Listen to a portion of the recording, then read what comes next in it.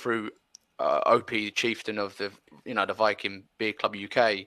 Yeah. Um, and and I got to know through him. I got to know I got to know about him through a friend of mine who has recently become a member of of that club. Mhm. And so it's like you say, so it's like the whole bikes and beards have always it's been a no brainer. It's been from the from the beginning. In my obviously, I know like the Viking the Vikings were way before bikes and that, but Yeah. fundamentally like street culture of of beards, in my opinion, um, kind of really originated with with the old school 60s 70s bikers you know? Um, which is kind of where where i got because I, being you know i've grown up around bikes and and the the mc culture uh, so to speak you know that, that's kind of what attracted me to it. And and also for me it's the only bit of hair i can grow on my head um, Yeah. i'm gone um, but you know, so, so we've going kind of going back to like the whole inspiration of Opie's Beard Co. Did you watch Sons of Anarchy because you were literally just like the idea of the show, or is it like for me? For me, Sons of Anarchy was I love the MC culture. Um, Yeah. Is that is that a similar thing for you, or Yeah, yeah. I mean, I, I, I love the culture. Just the, the, you know, this is going to sound really weird, but the, the look of it, just the flannel shirts, the beards, the tattoos. I've always been into that. Um, I don't know where that came from, um, but I guess you, I, do you know what? You probably when you're younger, you just see people, don't you, on the street, and you think, ah, he looks really cool. yeah, And those those people for me were the guys that had their sort of short, slick back hair and the sort of beard, probably sort of my length, tattoos up the neck and on the knuckles and the arms and all that sort Yeah. of thing. You know, the the jeans, um, yeah, that sort of that sort of look, the boots. I just I just thought, yeah, that's that's a really cool cool look. So, Sons of Anarchy. Um, do you know what? I don't even think I started watching it from the beginning. In fact, I didn't actually it was a show that I saw a trailer for, and I, I usually do this with a lot of shows. To be fair, I'll see a trailer and think that looks a good show, and then I won't watch it for about three years. I'll let it get three years ahead of me, so that when I do watch it, I can binge the crap out of it. Um, and I think that's what I did. I think I ended up watching it um, sort of after about season four. I think was already out or something like that. Um, so I actually dipped into it quite late. But yeah, it was just you know, just watched the trailer and thought, yeah, that's that's my cup of tea. You know, that's Yeah. that's my sort of that's my. It wasn't a bit obviously a bit different than things like break break excuse me Breaking Bad or something like that. You look at it and think, oh, you know, Yeah. not not really my culture, but you know, it looks all right, and I've heard good things. Whereas Sons of Anarchy, you know, I dare say it could have been a, a lot crapper than it was, and I probably still would have loved it just because of what it was based around. Yeah, see, see, for for me, it was um, like growing up where my dad was quite involved in um, in in the MC culture, you know, with certain clubs. Um, so I kind of naturally kind of tiered to that anyway. And for the tattoos, like, um, I grew up I, from the age of nine. I grew up in Spain, and like one of my neighbors, is Argentinian, and I, I, he he'd come out of his house one. Well, I come home from school and there's a there's a Sportster parked parked outside this house, and I'm obviously never seen this guy. And all of a sudden, he walked out and his big beard, fully sleeved up. Now I'm going back to like the mid 2000s when uh, tattooing wasn't as big in Spain. Like obviously, the Yeah. UK's always had a massive cult tattooing culture, which obviously a lot of it being that the UK was, in my opinion, the military connection and so to speak, things like that kind of brought the tattooing into the UK uh, quite early on. But in Spain, there wasn't. I know I'm again, who you know, for people that are watching, if I'm wrong, I'm I'm only talking my opinion on on how I saw it, you know. And so anyway, so back to like my friend, like fully tattooed both arms, leg piece, and and rocking a rocking a Sportster on, uh, with a, in a Softail frame. You know, it was like again, it's really anyone that knows Spain knows that building uh, custom bikes is quite hard due to re- EU regulation, well, Spanish regulations. But that was kind of like for me, the MC culture thing come from my dad, but my dad wasn't sleeved up. Yeah. And then my neighbor kind of like I just saw it like is that kind of similar to you? Like the, the MC side for me was already there, but this all of a sudden this look of this newer version of that culture, like because obviously the old boys weren't really getting fully sleeved. they'd have obviously the small military style pieces, Yeah. and then obviously eventually they come into bigger bits. But again, I- you know, I'm only talking kind of from what like, but my neighbor, I was like, that's one cool looking dude, you know, yeah, yeah. and that's kind of for me where where all of a sudden getting sleeved up and like say on your knuckles and things like that. Yeah, I think as well for me, it, it was just, you know, those sort of things are just the ultimate sign of masculinity, aren't they? Just a a, a big, muscly dude with tattoos all up his arms, big beard, you know, slick back hair, boots, jeans.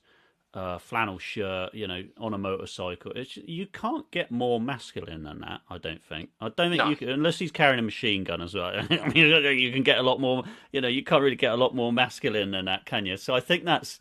I mean, I grew up as well watching a lot of pro wrestling, and that's obviously super masculine as well. So maybe maybe it's just one of those things. I just always wanted to be like a, a, a masculine dude kind of thing. Yeah. Yeah. See, see, for me, I, I'm like for like with tattooing. So like, um, I, I do a bit of tattooing. I, I worked in a studio f- for a bit before, and and kind of now, like obviously being having a family, I needed a consistent wage.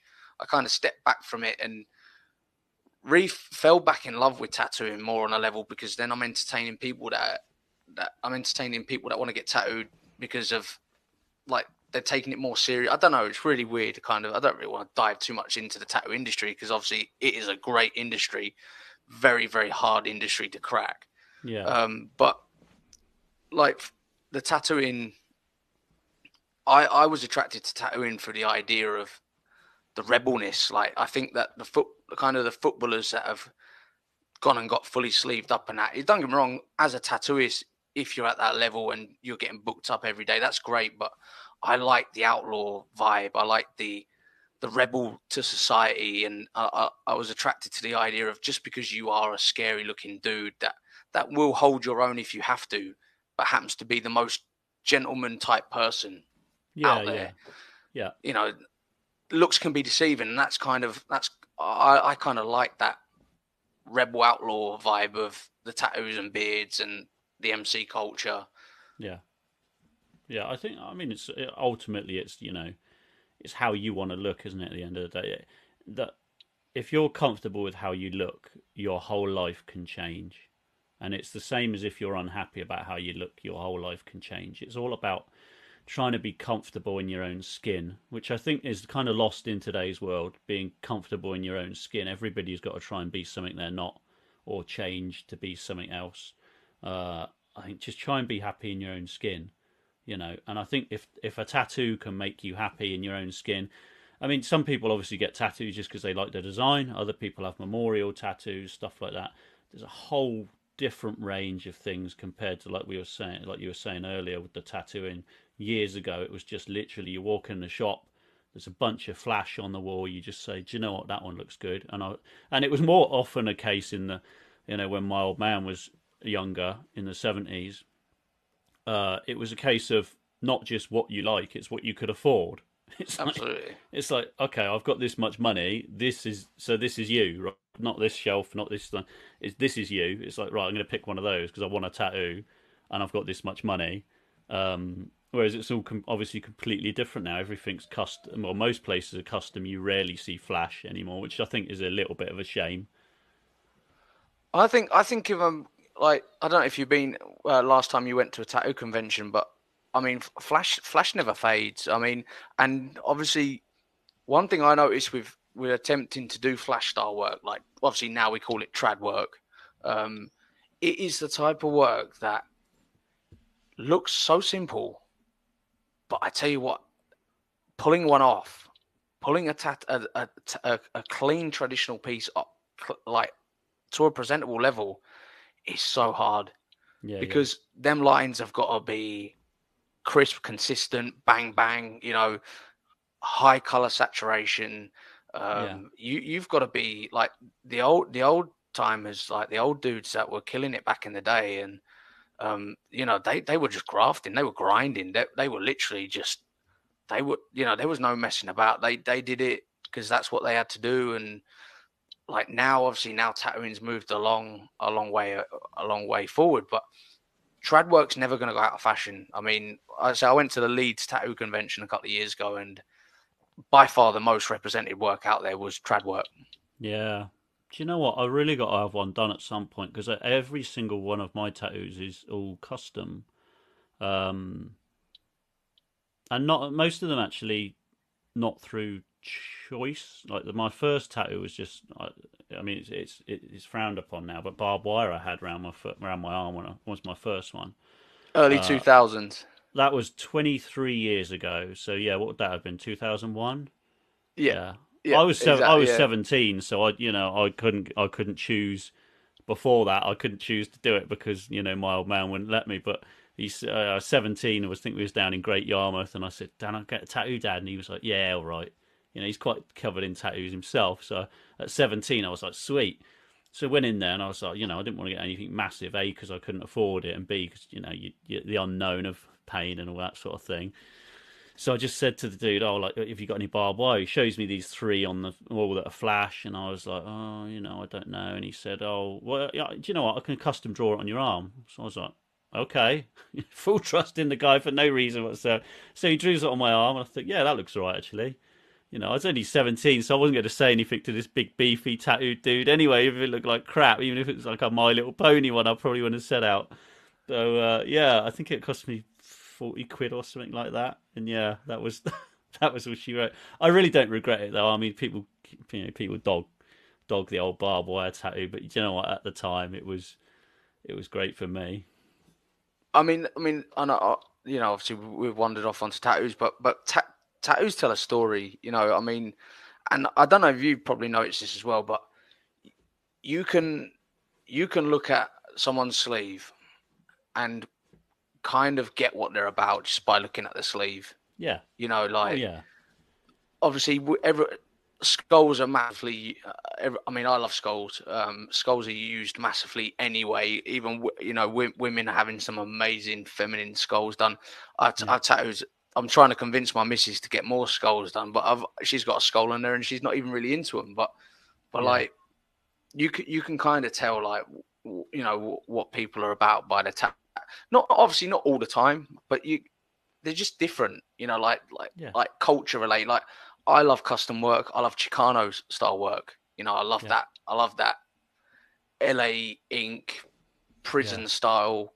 Again, kind of where I'm attracted to the outlaw lifestyle. Like, yeah, yeah. Again, not just just like maybe it's childish to say it, but the idea of I don't like being told what to do. You know, and and I don't believe that by not being like, but by not being like to be told what to do doesn't make me a doesn't make me a thug, you know, doesn't yeah, make yeah. me a, a, hooligan to society. And I kind of like, you know what I mean? It's like... Jason Clark had joined us. So if you're still watching Jason, evening, mate. Hope you're well.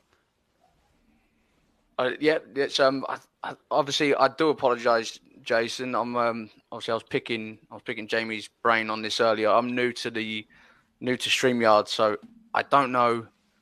I don't know how you show up notifications from people. Um, so if you just... go on the if you go on the right hand side, there should be private chat and then comments. So if you click on the comments bit, it will come up saying because uh, there's a little private chat where we can have a chin wag through Messenger, like we'd have the time to do it anyway.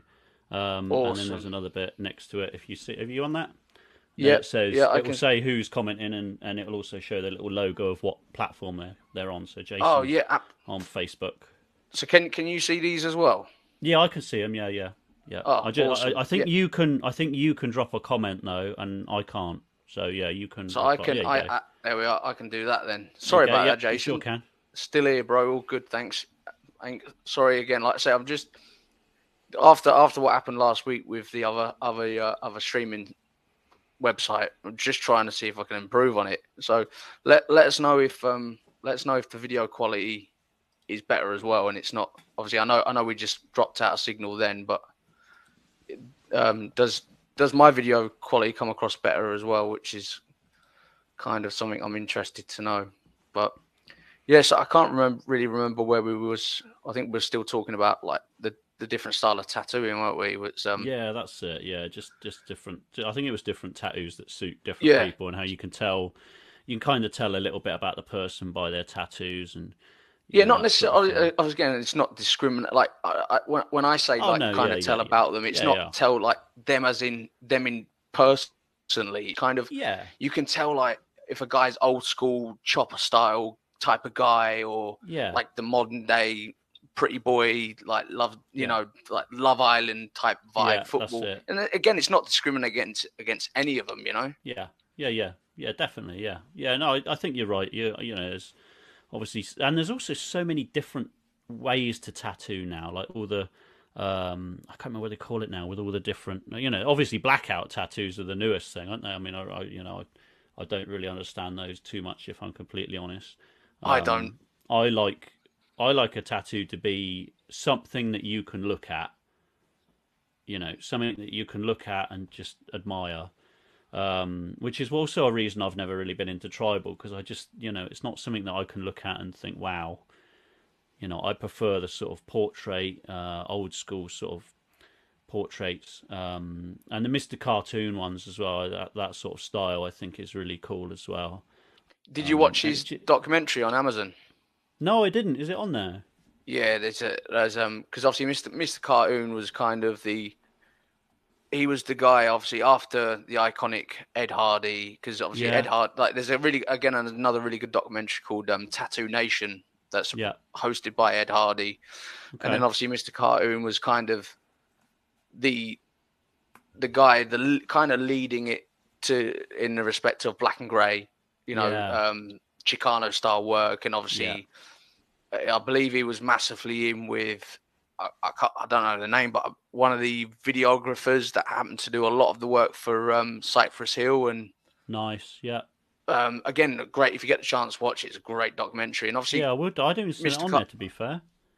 Yeah, it is on there. I can't remember what it's called. Something tunes, I think. I can't. Right, you know, okay. you'll have to you have to have a look. But um, yeah, yeah. But yeah, because he's he's still he's still massively doing what he's doing. I mean, but again, he's obviously earned the right to kind of pick and choose what he wants to do. And yeah, I don't I don't think that style will ever go out of fashion. I just think it's a tremendous tremendous style, and I think yeah, I think those yeah. sort of styles won't ever go out of fashion, just because, like I say, they're so interested to look so interesting to look at. Um, yeah, whereas I think you know other other things will will eventually fade. Yeah, so so obviously, like we've um, when do you think that the because at one point the beard the beard scene kicked off massively. What do you think? What do you think yeah. triggered triggered that?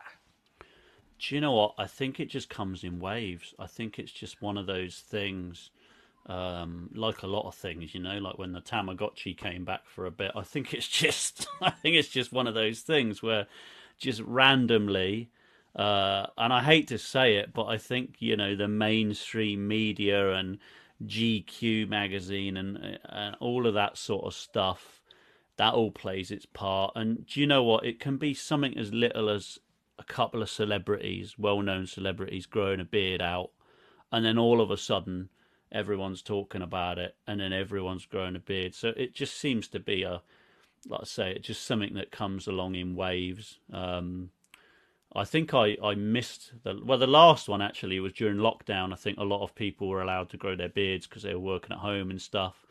So that was you know that was quite a boom then. But I don't I wouldn't have said it was it was back in fashion. It was just a a thing where people could have grown them. Um, but yeah. I think before that was what 2015 or something, 14. Yeah, do you know that's literally that was that I was actually expecting you to say that because I kind of noticed then it was like people that like you'd obviously you see about a lot. You know, you speak to them in passing, and all of a sudden these dudes are. I mean, and some of them were able to rock a full a full on beard within. It kind of felt like days. You know, like for me, yeah. it's been like it's been a long, yeah. long journey, and mine's nowhere near like what you've what you've able to pull off there. But it's it's not it's not as I don't think it's easy to rock a clean looking beard. It's it depends on what you got on what you got, you know, underneath that skin, doesn't it? I mean, some people, like you say, you know, they just have these genes and they can grow these sort of hedges on their face, like absolute dense beard. You know, if you punched them, it wouldn't. They wouldn't even feel it because the beard's so dense. And it's just those people are just super lucky, I guess. But you've also got those other people that you know they don't shave for a weekend and they come back and they got like a, a decent beard on over the weekend. Whereas mine, mine, uh, admittedly, grows so slow, it's unbelievable. I'm a real, I've got a real slow growing beard, so I'm not fortunate. And I mean, this has taken me years, and I actually cut quite a lot off of it. Um, beginning of the year, I cut about three, two or three inches off it. I did have a, a sort of eight inch, eight and a half inch down to here. Um, but it just looked a bit sparse towards the end, so I, right. I chopped it, and now obviously it looks much cleaner and you know hopefully more dense. Um, yeah, because obviously I was, to be fair, I like um, looking through your uh, looking through your YouTube content. I'd seen at some point that your beard looked, you know, obviously again only looking off a camera because I've never actually, you know, I've never not met you in person, but yeah. it did look like one point that it was a a bit more beard going on there.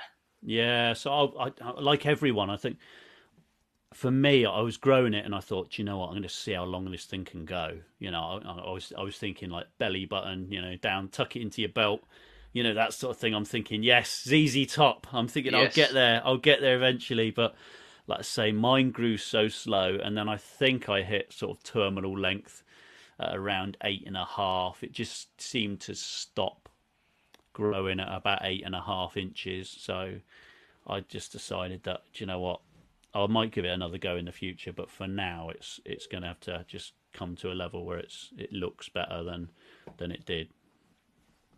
So obviously, going back to going back to your products, um, do did you find that obviously the inspiration behind obviously that we we know that you were inspired by the Sons of Anarchy for um for the, for the kind of the theme to to to present your your products, but was you kind of driven to like improve kind of how your beer grew? Did you find that using different products kind of made the beer kind of different? I mean, you know, I'm only talking off because I know nothing about this stuff, you know, so I'm yeah, intrigued yeah. as someone that's that's just starting to kind of start to use products and yeah of course yeah so for me i when i first started obviously didn't have a didn't have a clue there was such thing as products uh, started growing my beard. You know, didn't realize there were products, and then got more into it and realized there was products. Um, and I think I got bought a beard oil for Christmas. I think it was something like that, because I think most most of us men don't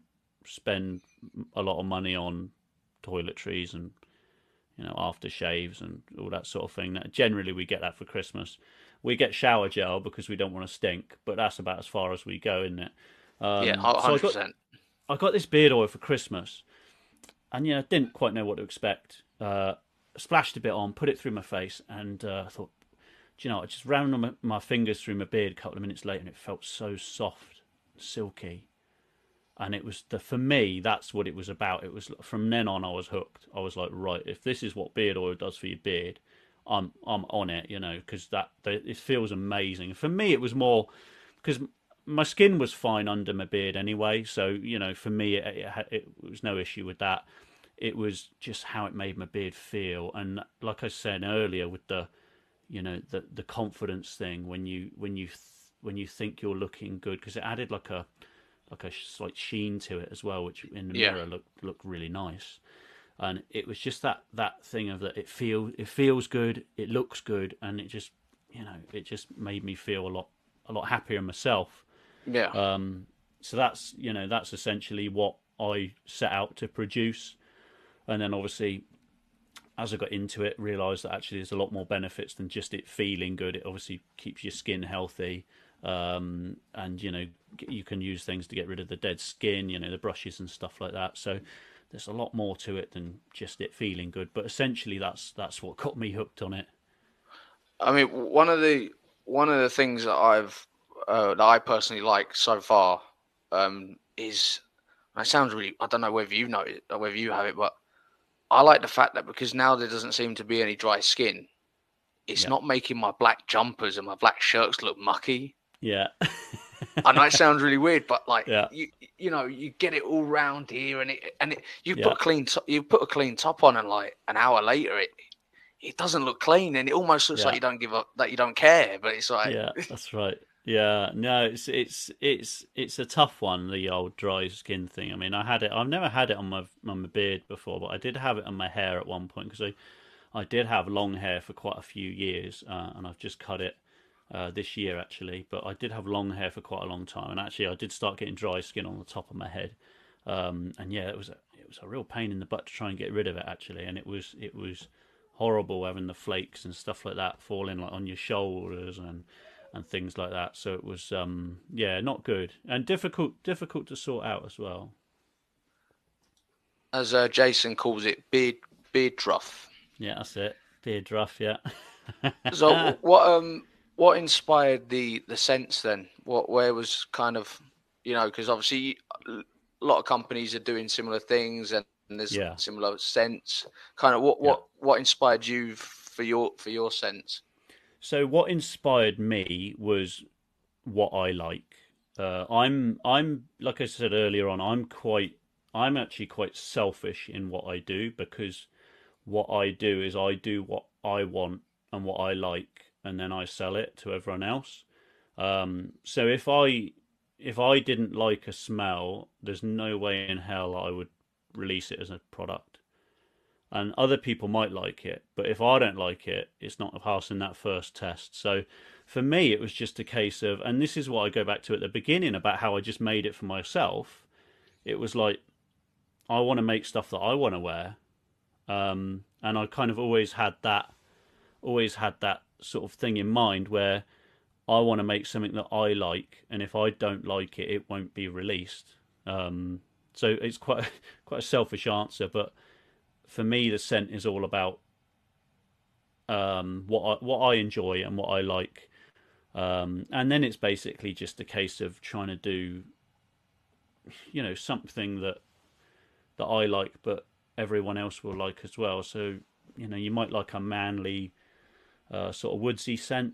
Um, but then you've also got like I do a sweet cherry one as well, which is obviously completely end different end of the spectrum. Uh, but you know, variety the spice of life. Um, so yeah, it's just a bit of everything, I guess. Yeah, that, that well, that's it. And I suppose like you, you know, you, if you're you're off out, you're off out with a missus, you might want to, you know, like like I, for me personally, I only put aftershave on if if I'm off out. You know. Yeah, yeah, me too. Yeah. Um, so that's that. I, I'm not one of them that blathers myself. I mean, like you say, as long as you smell clean, that's the main thing on a, yeah, it's a manly know, musk. It's a manly that's musk. you know, deodorant and and jobs are good, and and then obviously yeah, the it. aftershave is. uh I mean, I kind of even like the idea of, uh, of maybe like a, almost like a mechanical smell. You know what I mean? Because oh, like okay, when you're wrenching okay, yeah. on the bikes and things, you got a bit of a like almost like a burnt oil yeah, yeah. That's a scent that's out there or do, anything. Do you know like what? That, actually, but... I really like the smell of. Um, do you know when you got like the really old bikes or the really old cars, and they give out. Do you know when they burn through the fuel yeah. and it gives that like you know quite a pungent? I really yeah, love that smell, but then it's like oh, I don't really know if I want that on my face or not. But I really do love that smell. it's a, it's a I mean, fine is it, line. Is it, is it something? Have you have you have you messed about with trying to create something like that that you've just because obviously I'm guessing you, like you say, you make them for yourself, you trial them, you, you yeah. probably do you, do you get your close friends to kind of try it, and then obviously then you yeah. would obviously. So there's there's there is two types of different oil you can use in products. There's fragrance oil, which is uh, you know chemically made in a lab somewhere, and there's synthetic oils that are made to smell like things that you can't you know smell of any other thing like the sweet cherry for instance is a fa- fragrance oil because you can't get an oil from a, a cherry um, yeah. and then there's the other type which is essential oil which are naturally derived from anything from like the peel of an orange to like the bark of a tree you know and those are natural and those are the ones you can blend together to make different scents but by far blending scents together is the hardest part of making any cosmetic because you can get two things that smell brilliant, and when you put them together, they smell like crap.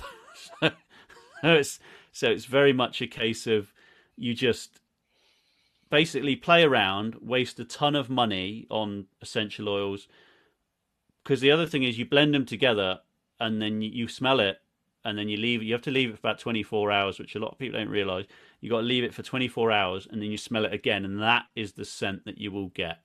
So you can mix them together and they might smell great that second, but then 24 hours later, when they've properly sort of gelled together, they won't smell good. So that by far is the biggest, uh, the biggest waste of time that you can actually have is blending that stuff together because it does take ages and it can be quite quite a kick in the gut sometimes when you've made about eight or nine different ones. And then you go back to it the next day and realize that all nine of them smell terrible. I mean do they um uh, obviously you got jason's asked what are the best ones to use but obviously uh, my question as well is do, do they smell different when they're on when they're in the beard when because obviously they get i'm guessing they they get a bit warm you know yeah. do, do the scents ch- does it changes does it change as it's so, as it's worn as it's aged? Yeah that's a good question actually. So fragrance oils don't tend to change. They they stay the same but they do stay they do stay the scent lasts for longer uh, which is the advantage of a, a fragrance oil. Now essential oils there's three different types. There's a top note a middle note and a base note and what happens is, is after after a certain time, you will start noticing the top notes come through a lot more. So that's when I say blending, it's it's very interesting in blending them together because the scent that you have that you work into your hands can be very different when it go, when it's been in your beard for a while. When you first put it in, it smells exactly like it does at the bottle, but then what you get is you get the top notes start coming through, and then it can start almost, you know, slightly changing in your beard, which is quite nice. Um, so yeah, it, it can do, but most of the time, most of the time you get the smell of, of the original, you know, out straight out of the bottle. And does that um no, he's uh, um Jason's asked another one here. So also, does the scent last longer in balm or butter? That that's do you know what, Jason? That's actually literally kind of where I was heading with that because obviously that they're made differently, aren't they? So what is, you know, how do you go about about making them? And like so Jason's I'll, question, I'll, do they? I'll tell you. I'll tell you something that a lot of people won't tell you is that there's a regulation you can only put so much into your product, um, and that that has been the same for a, a good long time, and it changes. It changes depending on the oil sometimes. So some some oils you can put less in, some you can put more. Uh, I think there's a there's two types of cinnamon oil, and one of them you can only put zero point zero two into your formula. So it's almost not worth using if you're making it small batch. If you're making gallons and gallons of it, maybe worth using. But if you're making it small batch, there's really no point because we're talking like a, a literally on the end of a pin. Um, but the actual law is is that it's one percent. Uh, so one percent of the formula of a product will be either a fragrance oil or a essential oil. Um, having said that, obviously, like I said a second ago, um, they they may be different depending on the oil themselves. So each oil has got a specific number which goes to it, but the general rule of thumb is one percent. So actually, the scent should last the same regardless of if it's an oil, a balm, or a butter. It should be exactly the same.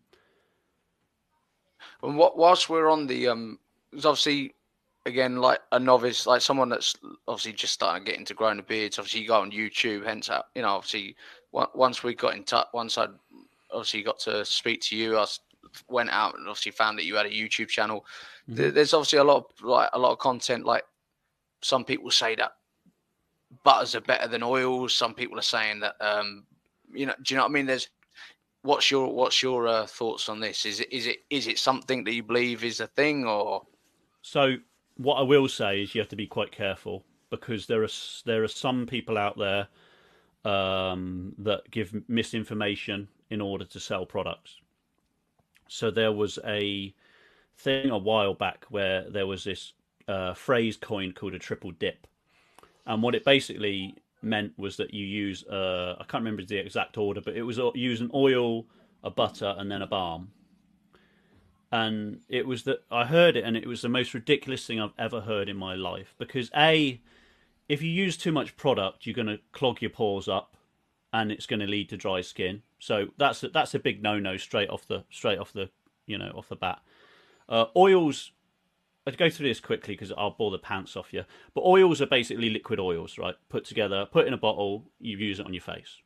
A butter is liquid oils, and then you usually use a solid oil, so like a shea butter, mango butter. Blend that together, that's your beard butter. and your balm is basically the same as a beard butter, except they put beeswax in it. So putting oil on and then putting more oil on in form of a butter and then putting more oil on in terms of a balm it, it won't give you anything extra it's just it's just putting three lots of basically the same sort of thing on your face so it's, so, it's um, really not doing you any good so is there when when so you get up in the morning you, you do what you got to do and you go to prep your beard what what's how, what's your process? Because this is something that's interesting. Because I, I, I I mean I'm learning like because obviously I'm learning how to try and shape a beard, try yeah, not yeah. to because one slip and it's and it's gone. You know, it's like and you've misshaped it all. And yeah, so, yeah. You know, I've been watching videos on how to like because obviously you know, like you say, you, at the end of the day, you've got to be passionate about about it to to have it. So what's yeah. your what's your process? Yeah, so so my process is uh and uh, you know, again, a lot of people will tell you lies about this, but I'll be honest. Some mornings I forget to put products in my beard. I'm I'm up. I got I got to get my breakfast. I rarely do my beard before breakfast because I'll put beard oil in it and then I'll go downstairs and have a croissant for breakfast. And then you know what it's like, you know, croissant with a beard. It, it's good night, Irene. You know, it's just got croissant all in it. There's more that goes in there than goes in my mouth. So I rarely do my beard before breakfast, and then often I forget to put product in it. So there's some mornings where I don't use products at all.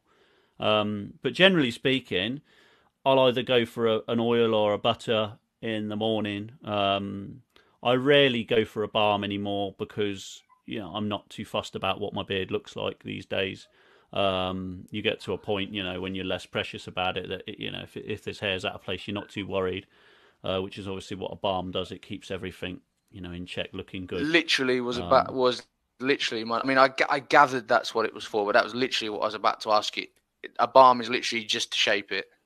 Yeah, so so a balm has, like I said, it's liquid oils and then uh, solid oils. So shea butter and mango butter. They're they're the conditioning side of it. Those two, and then they also add beeswax, and the beeswax is what gives it that styling agent. It basically just allows it to be a bit thicker, and it can you know you can just sort of shape it a bit more. So that I mean, particularly if you're like at the what we call the awkward stage, the sort of three month stage, uh, where your beard kind of just goes woof, like yeah, that that's literally where I'm at. Yeah, it's. I mean, often that's that's the time in growing a beard when you're called homeless the most. like every every everyone and your mother calls you homeless just because it, it, your beard just goes all over the place. So balm at that stage is a lifesaver. But yeah, effectively, that's what it's for. It's just as a styling agent, just so that it's like if I go out and meet a load of beardies, then I'll put balm in just because I, you know, I want to keep up with the, the Joneses and I want it to look good. But if I'm just bumming around like the house or or out locally, I, you know, I'll just use a butter or an oil. Yeah, that's um. So obviously, kind of like uh, from how I'm understanding it, oils and butters do the same thing. So obviously, as someone that's going to buy them, why would you? What, which why would you buy both if they've you know is it is it I mean, is that a good question? I, I, I yeah, think it's a good, question. question. Yeah, yeah. So, so, they they they're not the same. They're very similar. Right. Okay. Uh, and they're similar in the sense that the liquid oils. Uh, I'll, I'll, talk about my products. Is obviously there's different types yeah, of yeah, oils. You know, so the, I'll go over it quickly. There's there are certain oils that are a lot thicker, uh, like castor oil, for instance, very very thick. Um, and when you put it in, it tends to take quite a long time to to sort of soak in, uh, which can leave your feel, beard feeling quite greasy. Uh, and I don't I don't use castor oil. I use a mixture of uh, argan oil, jojoba oil, and grapeseed oil, which tend to sink in quite quickly and get your beard feeling softer quicker, which is why I go for those ones. Uh, now the butters contain those same three oils, but they also contain shea butter, mango butter, and avocado butter. And what those do is those give you a really deep condition. So it, it takes a little longer to soak in, but once it does, it leaves your beard softer for longer. Um, they are they are similar, but very very different. If you were to use them, most people yeah. tend to use beard butters at night time just because they put it in before night time, and then when they wake up, their beard's still super soft. Whereas an oil won't tend to make your beard feel as soft for as long. but it will make Yeah, it feel I've- softer yeah. straight, like almost straight away. I mean, I, I noticed that. I mean, to be fair, you know, I say I've only I've only just in the last three three four months been using um, beard products, and personally, I preferred the butter. You know, obviously the Yeah. the oil I just found was getting ready to go to work quickly. Oh, right, you know, quickly because it's obviously I'm at that stage where it looks like it's growing that way, not not that way. I'm finding Yeah. it really hard to to get it to go that way. Yeah. Um, and I just found that quickly whacking some oil on and running comb for it kind of just sorted it out quickly, you know. Yeah, the the other th- the only other thing I'll say about that is that uh, a lot of people will probably feel the same, um, and the reason for that is that butters don't lie. So butters butters have ingredients in like shea butter and mango butter, and it doesn't matter if you use a very small amount of that, you'll still get the good condition in. Whereas a lot of people, what they do with their beard oils is they'll use um, say four different four different types of oil, right? So they'll use say th- one one cheap one and three quite expensive oils, like like more luxurious oils that tend to make your beard feel softer and stuff like that. And what what a lot of people will tend to do, a lot of companies tend to do, is they they will use a lot of the cheap one and not a lot of the other three, the other luxurious one. But when they come to advertising it, guess which ones they list first? They will list those three luxurious ones first, and then the last one on their list will be that cheap one. And the way you can tell is because legally on the packaging, you have to put the ingredients in order of percentage used. So that's why if you look at most cosmetic products that they do in like boots and stuff like that, the number one ingredient, aqua, water, because it's most most products like big big brands use water based products. So that's a good way of looking to find out actually if your supplier or your your company that you're using are trying to have one over on you, whether they're saying that actually do you know what we use these great oils when in actual fact most of it is this cheap really cheap oil and then they put maybe a, a thimble size of the good stuff Yeah. Yeah, which obviously, and like obviously, everyone knows that water doesn't really. I mean, it, it hydrates slightly, but obviously, it won't condition and help the bit out this the beard itself, will it? yeah i mean to be honest most most products that are water based um it's just purely they do it because it's cheap it's, it's Yeah. just it's just cheap and then they, they can put other stuff in that binds all the other ingredients to the water um but essentially the reason they're all water based is because water's cheap Yeah, absolutely. Obviously, um, I know, I know you've got to go soon, so we'll quickly quickly touch on um the Opie's beard champ championship, I believe. What what you know that I mean, obviously, us and I mentioned to you about coming over and doing her. Hope hopefully, if I can get this stuff ironed out and it working a bit better, coming over and do a a, a live podcast over there. yeah what, yeah What was the um what what inspired the the beard championship? So there's there's um, there's beard competitions that run up and down the country, and there there is in most countries. To be fair, like America, there's tons of beard competitions that run, you know, all over the place over there. Um, and running a beard competition was something that I always wanted to do, like when I started. So, like when you start doing a business, there's there's little things in the back of your head that you think I'd love to do that one day. You know, when I get a bit bigger, I'd love to do that when I get a bit bigger, and you know, and all that sort of thing. And a lot of the stuff, you know, you, you, over the years, you kind of think, oh, maybe I won't do that. You know, maybe that's a bad idea.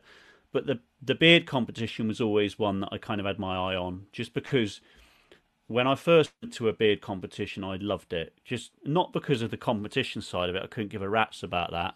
And I realised that actually most people there couldn't give a rat's about it either. It was just basically an excuse for all of us beardy people that know each other on online to meet up and have you know have a chat, have a good laugh, have a few drinks, and that's what it was all about. And then raise money for charity as well. So I thought, well, this is great. So it was ever since then that I thought, actually, do you know what? I'd love to do one. And there, there doesn't happen to be many down south because I'm from, I'm from Reading, me, and Berkshire, so we're we're quite far down south, whereas most of them seem to be up north. So I thought, well, if I do one down south, you know, hopefully we'll get bunch of new people and get some of the the Northerners come down as well. So I just thought I'm going to go for it, and if it falls on its face, at least I've given it a given it a good go. Yeah, I mean, I mean, you by the looks of it, you've done you've done you've done a few now, haven't you? I mean, I can't I haven't been able to work out exactly how many you've done, but I've noticed like you did obviously this year, last year.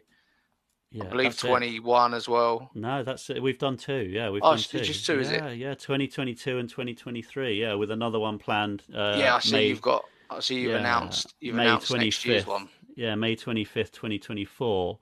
So yeah, awesome. it, it, it's great the atmosphere that we get because we hold it at, we hold, hold it at Loddon Brewery in Berkshire, um, and they've just got such a fantastic brewery there, um, and it's just in such a great location that the atmosphere almost almost creates itself there just because the setting is so nice. And I mean, to be fair, we've had great weather. Touchwood, it will be all right next year, uh, but we've had great weather the last two years and yeah, but the atmosphere is I I find it very difficult to explain just because you have to be there to find it out. But yeah.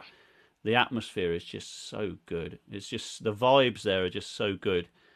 And everyone just has such a great day. Um, you know, we've we've raised over three thousand pounds now for Daisy's Dream, which is a local a local Reading based charity as well, which helps children that have that's, suffered bereavement. That's incredible. So uh, you know, for me, there's that feel good factor about that as well and it's just everybody telling you that they've had such a great time. And obviously, like I said earlier on, with the mental health side of it is big in bearding as well. So it's just great to speak to people, and you know everybody leaves, and you know that they've got you know they they've got good good vibes running through their veins now because they've had such a great time, and that's what so it's all about for me.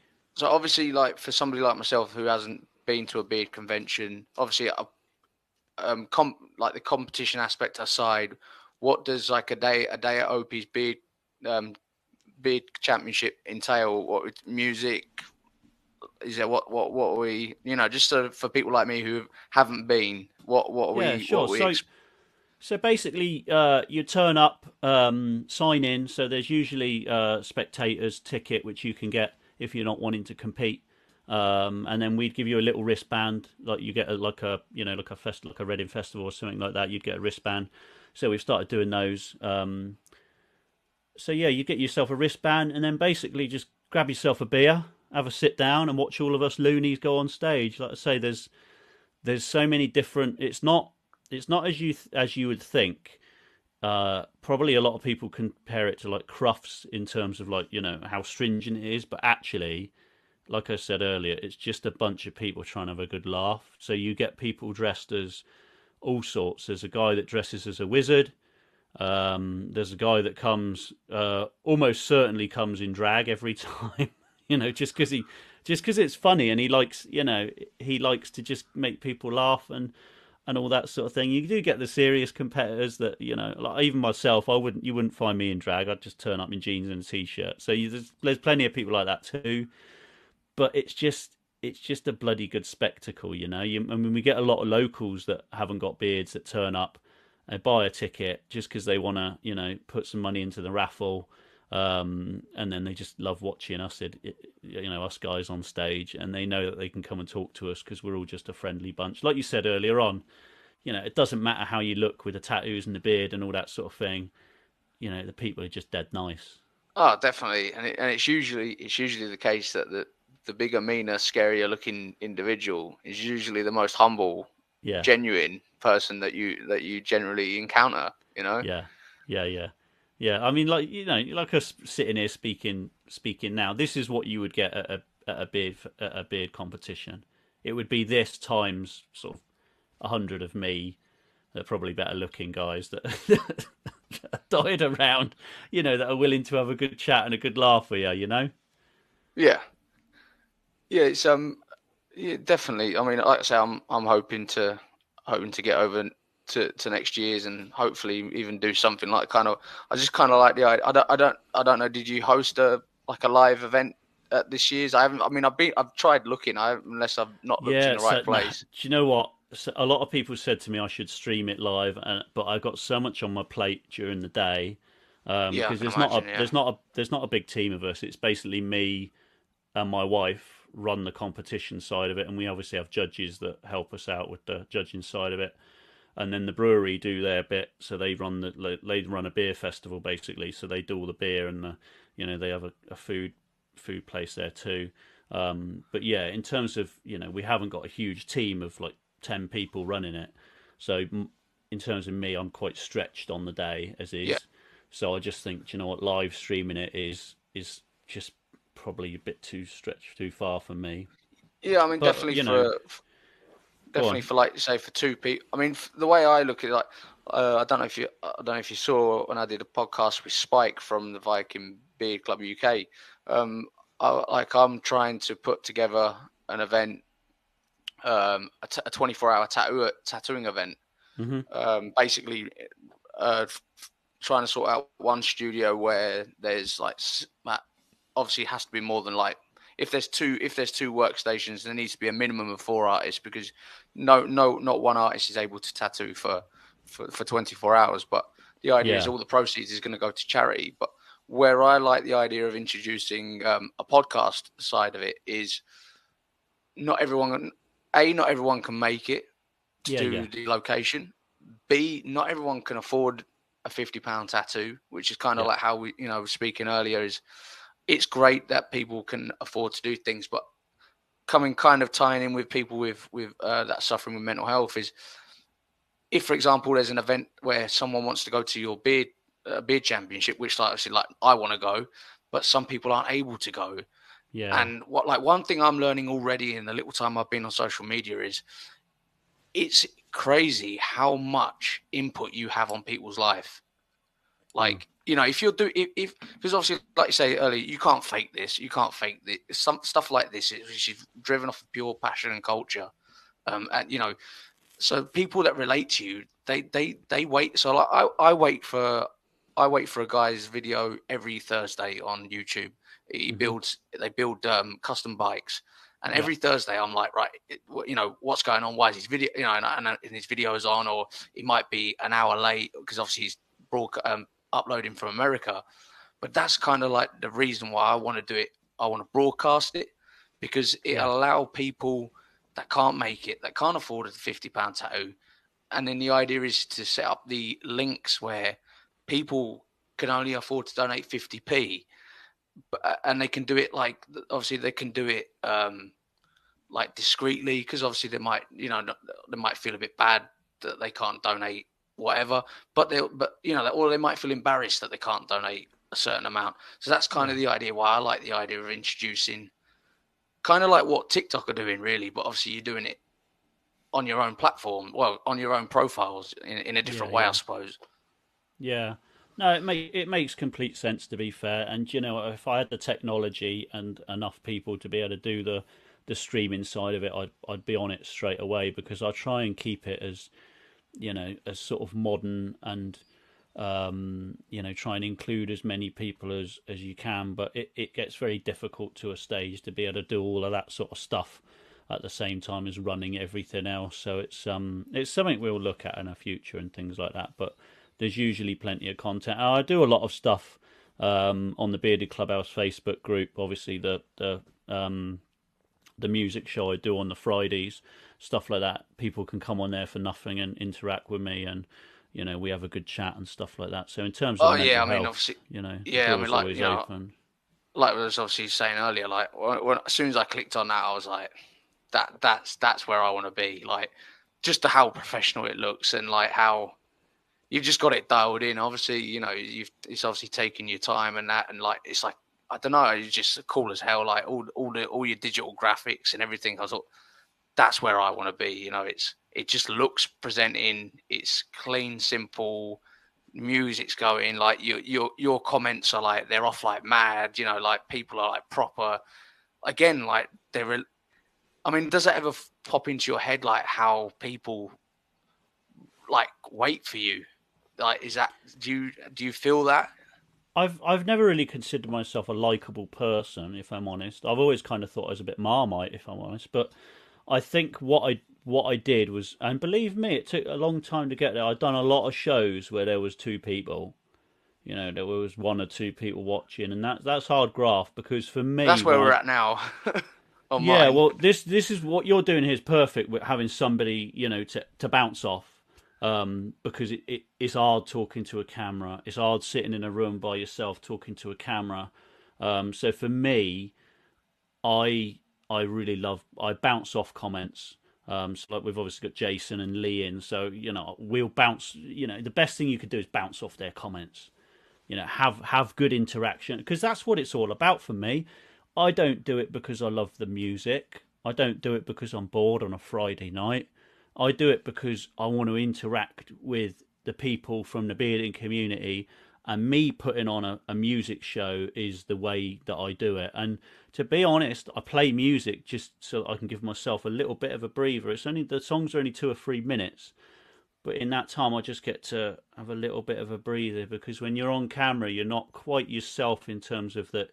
Your your mouth tends to go a little bit quicker than your brain most of the time Uh, so you yeah. can get a, you can get a bit caught up. So actually, just Yeah. having them two minutes just to take a second, just write something on your notepad, you know that you want to talk about. Because the other thing is, you you tend to forget the things you wanted to talk about, and then when it's over, you think, "Crap, I never talked about this, this that I wanted to talk about." So yeah, it's it's it's difficult doing these lives, and people don't realise that.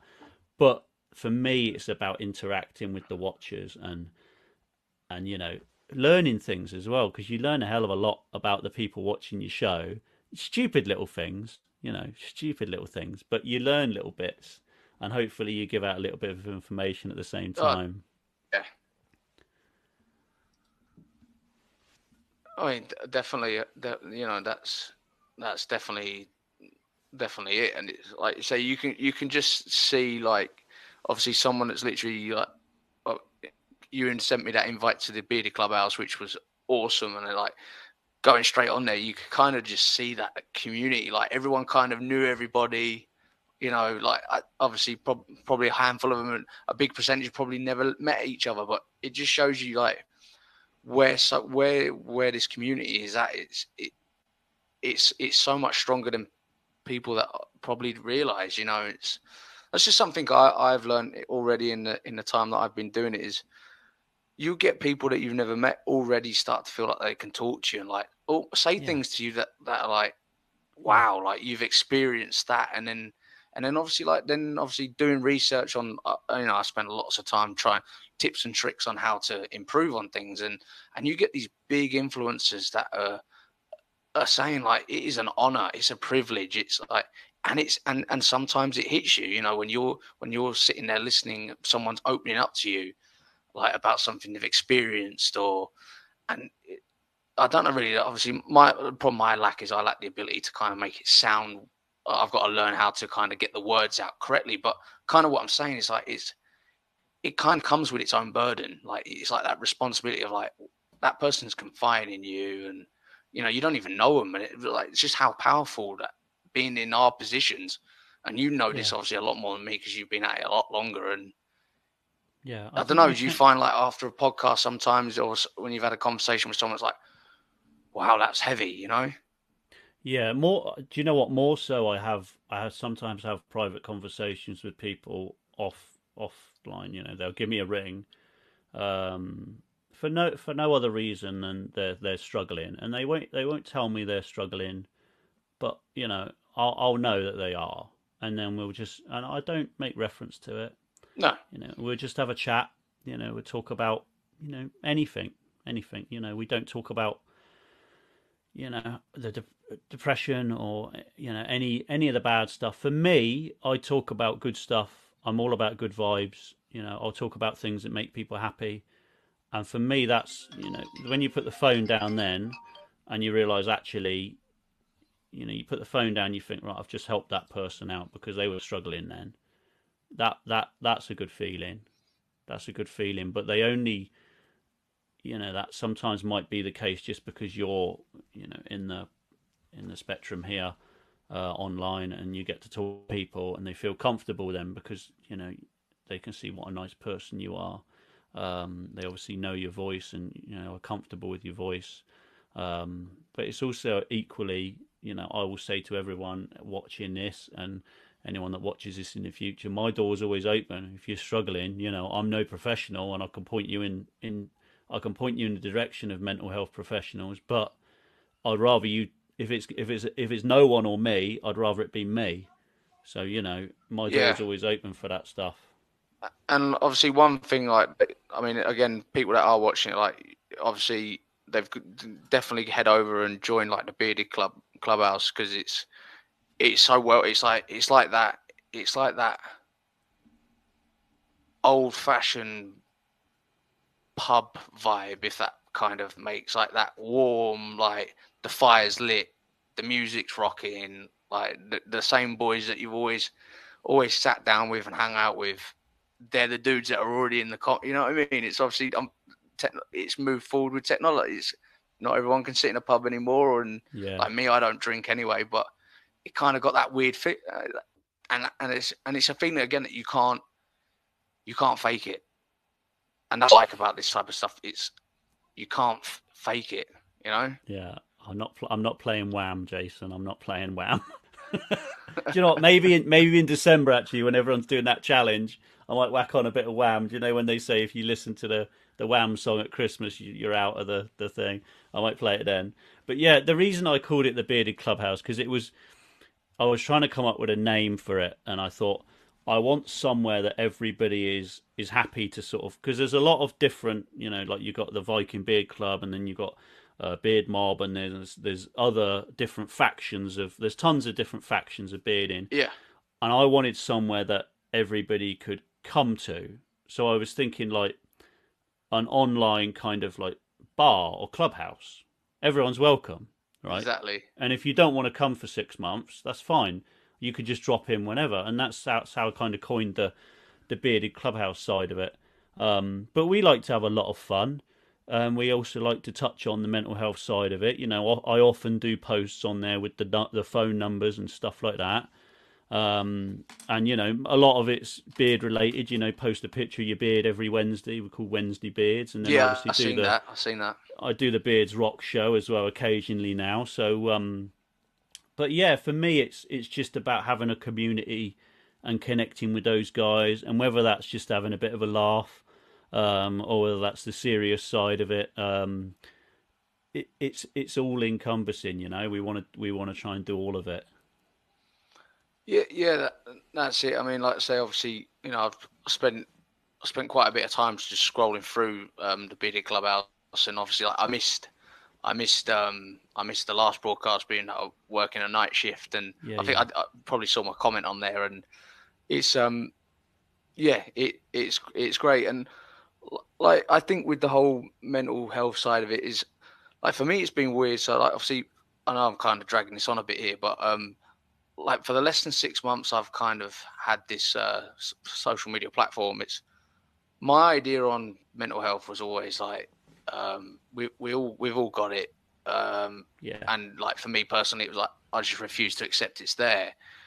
But kind of being able to listen to other people, obviously like similar like you, talk to people offline, and it kind of starts to hit home like wow, you know, and almost starts to get you to kind of think about yourself a bit in a different way. Like, uh, Yeah. you know, am I really, am I really all right? You know, um, I think unfortunately, the, especially the UK, I think unfortunately there's a lot of it's okay not to. I mean, I don't know if you saw, I did a video where I, I put it's okay not to be okay, but what's Yeah, not yeah. okay is to re, is to remain there. And and Yep. I don't know if I had mixed reviews. I, I think it's hard to kind of kind of put it out there without sounding kind of a bit like i oh, get over it, which is not what I mean. Um, you know, I mean like it's okay not to be okay, but it ain't okay to stay there. You know, let's get you back up. Let's get you. yeah, yeah. Do you know what I mean? I'm, maybe I'm not very good at wording. I mean, I haven't had any complaints about it, but yeah I do yeah. sometimes think, am I coming across a bit of a a bit of a dick? You know? Yeah, no, I think I yeah, I think certainly you have to be careful when you word things, um, and I've always, I've always tried to word it because there's, you never want to say, oh, if you're feeling depressed or if you're de- if you're suffering from depression. So often what I say is, do you know what? If you're not feeling yourself, then let you know, give someone a call. If you're not feeling Yeah. yourself, you know, yes. If you're not feeling yourself, give a mate a ring family member, have a quick chat with them, half hour. Don't even talk about if there's crap going on in your life. Don't even talk about it. Right? Talk about good stuff. Talk about stuff because it's the good things that get you through. It's not talking. And sometimes, you know what? Talking about the crap stuff can help. Don't get me wrong. Sometimes it's great to get it get it out of your out of here and, and out of here. Yeah. It's good to talk about stuff that getting you down, but you don't want to dwell on it. You know, you want you want happiness in your heart. Yeah, and exactly. I think you know that's why you know I often just say you know if you're not feeling yourself, because no one will say oh, I'm I'm feeling de- I'm feeling depressed or whatever. It's hard to say that because Yeah. there's still that weird stigma around it for some unknown reason. So if you're not That's it, and- yourself, you know, And like you know, like obviously going like uh, going back to like at the beginning, kind of like what attracted you to the to a lot of this is that the fact that like beards, flannel flannel tops, Sons of Anarchy vibe, they're to you what you deem pure alpha male, and if and the fact is like I can't relate to somebody that's in a suit and tie, clean shaven, no tattoos, um, got degrees. And that's not, you know, I know, I know, I know. Unfortunately, I'm kind of painting that typical image of a person, but I can't relate to somebody like that. I relate to somebody that, like tattooed, beard, rock and roll, bikes, banter, and it's like, well, if if that person's kind of struggling with that, then it ain't just me, and which I think's so powerful. You know, like in what, especially like with, with the community that you've built up, and obviously with the connections that you have, like with the Beard Mob and uh, Viking Beard Club, and it is powerful. It is, and and and obviously being that you're the neutral dude in the middle, um, probably comes with a lot more responsibility as well than the chieftains and you know people within the club because like you're the dude in the middle that's got to keep everything neutral. Yeah, yeah. I I got to say when I did join all the communities and stuff like that, I didn't I didn't join up to help people. You know, it's not something that I would. It's not something that a I would have been comfortable with, and b something that if you put if you put me in a box and said, "Oh, do you want to you know jump on there and be the the ears for these people to talk to," I'd have probably said, "Oh, that's too much responsibility for me." But you've also got to take it with a territory that actually, if you put yourself out there, then people will contact you and and want you know want your ear or want advice or anything like that. So you have to you have to take it on board and just be a good person. You know, every like you're saying with a suit and tie, everyone's a person. You know, every single person. You might not have anything in common with them, but I, I guarantee you probably will have something in common with everyone. Everyone's got something in common with someone. It's just finding that something in common. You know. But obviously, like you, s- you know, like um, kind of like what I mean by that is like when you feel feel that you relate to somebody, it, the guard gets dropped. Do you know what I mean? That whole Yeah, yeah.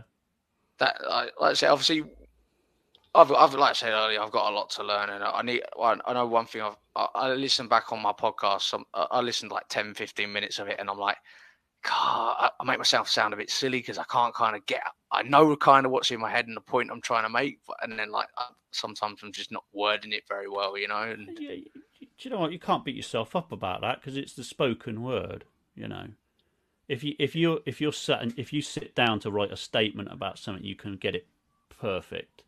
But if you're trying to say a statement straight from your brain out your mouth, it's not going to be perfect. And people don't expect it to be perfect.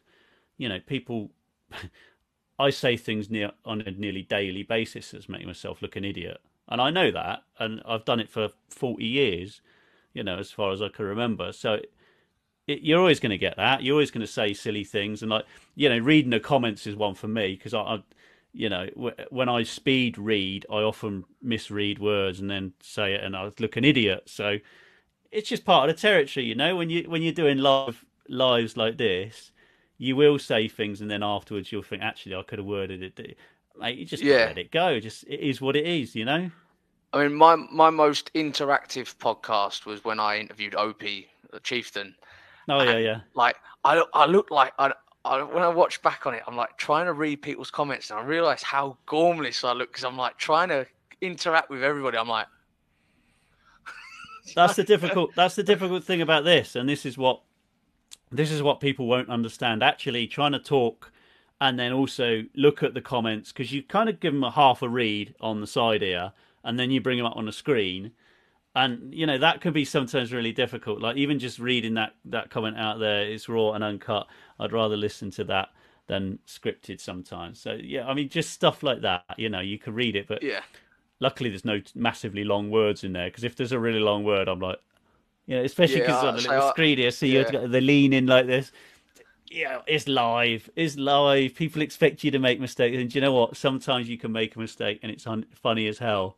Makes everybody laugh at home, and that's you know, adds to the That's it, fun factor of it. It's better than. Do you know what? I couldn't think of anything worse than doing it, doing it not live, just filming it, and then getting it wrong, and then deleting it, and then recording it until it's all perfect. Yeah. You know, you don't want perfect. Perfect's not good. No, hundred percent. I mean, that's kind of like, I mean, like I said, I think obviously when I set out doing a doing podcasts, uh, doing these live podcasts, is I hadn't researched it. Um, I'm I'm not. I mean, Lee Lee knows me. I, I'm I'm very like caveman ethic intelligence when it comes to uh, technology, and I thought, right, what's the easiest way for me to be able to? The idea for me, like I said earlier, was if I can get one person that I'm interviewing that's uh, making seats, for example, if I can get him one customer or one like on his page, that that was the feel the selfish feel good factor to me. It was like Mhm. I'll just put them live and and then obviously I realized that for some reason when you do a live on a phone, all of a sudden all they see is your nostril and an eyeball because it zooms in. And I was like, right, YouTube, how how how do I how do I make it look better? And then obviously Yeah. come across uh, service these website services, and then I was like, right, okay, we're making progress. Um, Yeah. Do you know what? Everyone makes the same mistake. I done a live video once, and I I had put set my phone up, and then I, I turned it as it was live, and I didn't realize until afterwards. I done it was a live for about half an hour of me sat talking. I didn't realize I was on the side the whole time. That's I was awesome. just, I was just sideways the whole time. so it's That's awesome. you know you're going to make a lot of mistakes. It's just basically getting used to the technology as well. Like you, Oh, obviously you're definitely. using StreamYard now. See if you'd done another one tomorrow, you'd be a lot more comfortable using it than you will be today. Yeah, for sure, for sure. It's um, it's uh, yeah. I, I've lost you there again, mate. Can you can you hear me? Um, well, I don't really know what's what's going on there.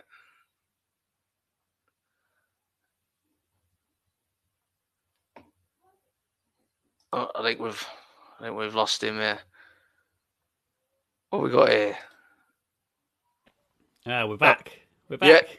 Yeah, yeah. sorry about that. Um. I, I, I think I'm still. I think yeah, yeah. That that's it. And um, like I say, obviously, I, I won't, I won't keep you anymore, Jamie. I know you're, I know you're a busy man. Um, that's so right. for for people for people that um, for people that want to obviously check out your products and check out what you're about, um, they can find you on. It's Opie's Beard, Op- Opie's Beard.co.uk. I'm on Instagram, Facebook. Uh, the competition has got its own Facebook page too, um, and the Bearded Clubhouse Facebook group is is obviously free to join. It's a public group, and it's good. It's bloody good fun.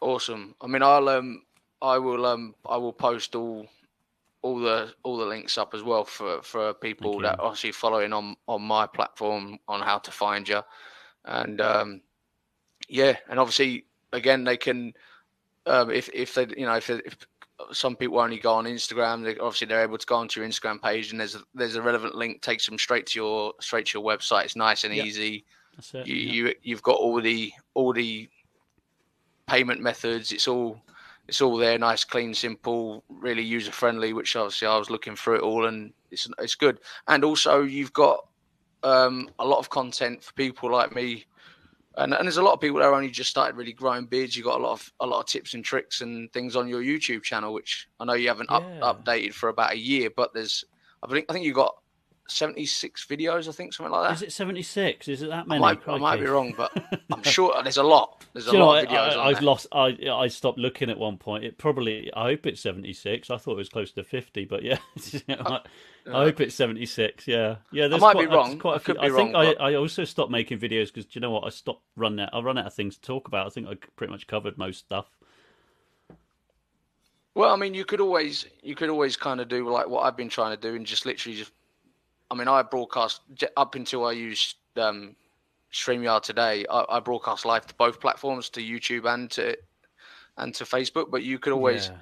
you could always post your um re- repost your content onto your YouTube channel because obviously there's there's a lot of people that only like to use YouTube for for, for watching, Yeah. isn't there? You know. Yeah, I did. I did do that at one point with the Instagram stuff. I I kind of used the um, what's it they called reels, isn't it? Is it reels? Yeah. yeah. Yeah, I used that on on you know for the shorts on on YouTube for a bit. Um, but yeah, like I say, I, I just kind of stopped with the YouTube stuff just because it was Yeah. it, it wasn't seeming to get me anywhere. Um, so yeah, I just kind of stopped with the YouTube. Are you on? Um, I mean, I tried to look for you earlier on TikTok. Uh, are you No, I'm not much. I'm not much of a dancer, so I give TikTok a miss. I just thought. I mean, there's what- there's um to be fair, there's uh, there's quite a bit of beard beard content on TikTok. You know. Oh, is um, there? Yeah, yeah. Because I obviously I um I created the reel for Instagram that you shared, and then I down because again I'm you know trying to be clever and not have to overwork things. I download the reel, re-upload to to TikTok, and then I noticed that there was uh, obviously when you put your hashtags in, loads of beard content comes up. right. Okay. Because Yeah, yeah. obviously, as you probably know anyway, when you put like hashtag beard, it comes up with how many people have hashtagged it. So like Yeah, hashtag right. Yeah. beard TikToks come up with like 1.3 billion hashtags. Oh, okay. Right. so it's yeah. uh, maybe No, I got. I got to say, I look at I look at TikTok and I just think, oh, do you know what? Another social media platform. to deal Right. with.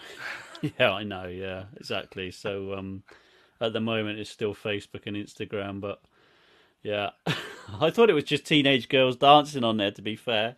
No, no. I mean, I mean, otherwise I wouldn't have been. I wouldn't have been on it because that stuff, like you say, that you don't you don't need to sit and watch that stuff. It's No, I don't. It melts your brain, doesn't it? it's, and, you know, and, and then and then it gets worse. It gets worse when they when they when they seem to convince the granddads to get to get on on and. Uh, but yeah, so I'm gonna I'll I'll, I'll uh, leave you to it because I knew you said you needed to get off as well, and we've already been on an Yeah, extra Go and go half hour or so. And dinner. mate, thank you very much for. Uh, You're very welcome, mate. Thanks for having us on. It was great to have a chat with you. Yeah, yeah, definitely, and ho- hopefully I'll um hopefully I'll get on to I'll get on to uh get on as a guest on yours and kind on of get Beards a bit- Rock. Yeah, that's it. get a see how it really like try and get a learn get a feel for learning how it goes on like, on a bigger because obviously you yours is being watched by like a lot more like I think I think your last one when I when I tuned in about half an hour after you'd already had like three four hundred views there was about Yeah. uh, two three hundred well three, I think it was about 360 60 uh comments and Yeah. you know, and you're just there, just chilling, like, and you got your your friend on there with the with a with a bigger beard. I can't remember his name, but Oh, is it like, Bear this- or Carl? I don't, I don't- I've, I've Carl, only just started. I've only just started doing guests on it, um, just because I love I love this. You know, just interacting with somebody. I, don't get me wrong, I love interacting with the comments as well, but the comments don't speak Yeah. to me. Whereas it's a lot less reading when it's talking to a human being, which is which is nice for me. So um, yeah, I like I like being able to bounce off people as well. So I, I did say, you know, because I used to do it on a Monday night. The uh, it used to be called um, Music Monday, uh, and I stopped it and started doing it Friday night just because it worked better for me. And I felt like more people were kind of chill on Friday night. Yeah, Um, so I moved it Friday night. But when I did that, I decided, you know what, I'm going to try and have as many guests on as I can because it makes it more fun. And like when Carl was on, we done the uh, the sour sweet challenge, and it was yeah, I saw that. horrible. God, it was so yeah, he'd horrible. already he'd already tried one the day before, didn't he? Yeah, yeah, yeah. But he didn't. He didn't let on how bad it was. It was uh, honestly horrendous. Um, but do you know what? I don't mind doing all that sort of stuff on a live because it's funny and it's it's fun, and that's that's what a live should be: funny and fun. Definitely, definitely. So, yeah, hopefully, yeah, well, hope, hopefully fun. I get hopefully I get on one of your future ones, and Yeah, Um, but we won't do any sour sweets. I'm done with the sour sweets. I'm trying to think what what else we could do. Um, oh, bug eating or something. That was Oh, the only mate, thing I dunno, could think. yeah. Edible bugs or something. oh, Jesus, yeah, Oh, yeah. I'm not doing Yeah, chili that'd be- either, so that rules are quite a lot of stuff out. jalapenos.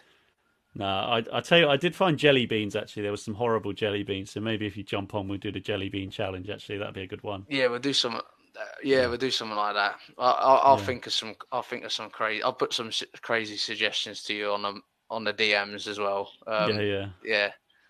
I'm- awesome stuff. Yeah. All right then, mate. Well, again, so people that want to obviously check out your your your products, Opie's Opie Beard Co. Beard Co. Yep, And um, yeah, and then hopefully, hopefully I'll get to see you at the next year's beer championship, which Yeah, you said was great, the yeah. twenty the 25th. Saturday, Did you say? Saturday 25th of May. Yeah, yeah. So it's and that's big down in That's in Reading. Yeah, it's at it's at Loddon Brewery, which has been a, a brewery running for 20 years now. So um, yeah, it's a, it's a well established brewery, but it's it's great. It's it's a really good, That's really awesome. good Oh, one thing I did forget to ask you actually. Um, do you have a motorbike? No, I, I tell you what, I did start learning um, just after lockdown, um, but I, I never I never got round to doing my test just because I've, I run two businesses, and they pretty much dominate my entire life. Yeah. So I had a I had a bike set out the front, and I enjoyed going out on it. But What do you have? you know what? It's it's uh, what was it? Uh, so, do you know what? I can't even remember now. I cannot even remember. Um, Yeah, no, I cruiser, I cafe I don't racer, remember. sports no, it was bike. it.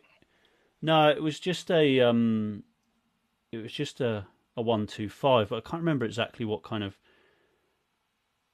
I think it was a Suzuki something or other. Was it a cruiser? Yeah, it was. Yeah, yeah. so it's either cruiser, a yeah. Mar- Marauder or a Intruder or a GN. I think a Marauder. I think it was. So is it single single cylinder? I don't know, mate. It's far too technical for me. I got a mate round the corner who, who's a big, big on his bikes. Um, when he found out I was doing my CBT, he was just like, "Oh, I've got a one two five. You can have." I said, "What the hell have you got a one two five for? You've you've been riding bikes for years." He said, "Oh, I just bought it." I was like, Oh, mate, Why? I- he I said, "I just I want love- to cruise around on it." I said, "You do you do know how slow they are, right?" It's like, I, honest to God, yeah. right? So so I've got um, our last bike I rebuilt was a 1987 ZX10. Um, yeah, thing wants to kill you everywhere. Anyone, any anyone that's tuned in that, that knows Yeah. 80s bikes, mate, they want to hurt you, right? And Yeah, and they're yeah. not that it's not that they necessarily want to hurt you at a high speed because because like a modern day 600 is equally as quick as my bike, but yeah, I get more enjoyment out of my 125. That, I, that again uh, will once I get my shed sorted and everything, will there'll be a lot of content on that being rebuilt. I've got hand shift, foot clutch, 60 mile an hour, great on mileage. I get more fun from that. Um, and, obviously, like you say, you know, if you haven't got a license, it's what I believe just under 200 quid to do your CBT, uh, Yeah, 20 yeah. pound road in. yeah. And and for me, as long as it does the speed limit and it's two wheels, that's all it matters. It's not oh, I ride a Harley or I got this, I got yeah, that. yeah, yeah. No, to be you know. fair, it was it was good fun to just ride around like the local streets. But as you got onto the more sort of, you know, the bigger speed limits, actually, you were just a bit like, "Come on, on!" Like shaking Yeah. the thing, trying to shake the thing for. Just you know Yeah. that that cap of I think I can't remember what the top speed on the thing was. I think it was something stupid like 55, 60, something like that. Yeah. Um, Yeah, and it was um, just you know you're just there, and it's oh come on. Can't- Yeah, and it does- you- I mean, you're on big long straight roads. You think I've got I've got this handling wise. It's just not giving me the speed. So it was just you know I I don't understand for the life of me why someone with a with a full license would ever have a one two five, just because it's you know it's it must just be like wearing clogs to go running. You know. I don't know. Yeah, I mean, like I said, mate, I've got I've got mine, and it'll it, you know it'll top out at 100 and 135 ish. But yeah. trying to hold on to it at that speed, and I don't know. I mean, yeah, but I, you've I'm got not you've got that speed if you want it though. You don't. You know, Yeah, you, just because yeah. you've got it doesn't mean you have to use it. You know, it's just No. there if if you can use it safely, you can use it. But obviously, it's better to have it and not need it than to need it and not have it, kind of thing. You know. Yeah, definitely, definitely. Uh, like, um, yeah. So obviously, again, I'll let you get on. Just before I go, actually, um, the the lady, lady that commented last South, Southwest airbrushing. For those of you that haven't checked out that podcast, uh, check that out, and also check out her content because uh, she's an incredible airbrush artist. Um, so yeah, if you go head over and see what she's been doing, because her, her, her artwork is awesome. I love And, watching. uh, I, I love watching airbrushes. I think. I Have you have you seen have you seen have you seen her work? I think I saw a little bit of it actually. Yeah, it was. Yeah, it was on one of your. It was on one of your stories, I think. Or something. Yeah, I yeah, I can't remember I share- exactly I where I sh- caught it, but I, I love watching airbrushing. I think it's it's amazing. It's so so talented to do it. Yeah, she her, her works. Um, I mean, any anyone that can airbrush. I've had a couple. I think I've had a couple of people now that that are able to airbrush, and I've attempted it. It's definitely it's definitely not as easy as they make it oh, look. I wouldn't. I wouldn't even attempt it. I know as soon ballsed it up Yeah. straight away. straight away, just like three seconds in. oh, fuck, God damn. Yeah, it's it's not something that you can. Re- it's not something that you can redo easy, is it? If you mess it up, I don't think. I mean, like I said, mate, I I briefly attempted it. I mean, personally, I find tattooing easier than airbrushing. Um, Yeah, and not that I'm even a pro tattooist either. I mean, I'm I'm able to I'm able to lay out some clean, presentable pieces. Um, Yeah. I'm certainly not winning any awards, but I mean, I get I get repeat customers. I get the same people come back for more, so I must be doing something okay. But in my experience, I found that Yeah, tattooing is easier than airbrushing. yeah, That- yeah definitely. You know, obviously you can rub out you can rub out airbrushing, well, spray spray it back over, but you Yeah, can't with tattooing. But no, it's the whole not usually. no, no. Well, well, obviously, yeah, that's it, and it? It's um, but yeah, obviously, again, I'm not gonna keep waffling, otherwise I could keep you here for another hour. yeah, Um, no, that's good, mate. Yeah, yeah, yeah. And, well, thank uh, you very much for having me on. Appreciate it. Awesome, mate. I say I look forward to speaking to you again in the future, and Yeah, have a have a good one, mate. yeah, we'll do. Thank you very much. Cheers, See you mate. later. Bye. Bye bye.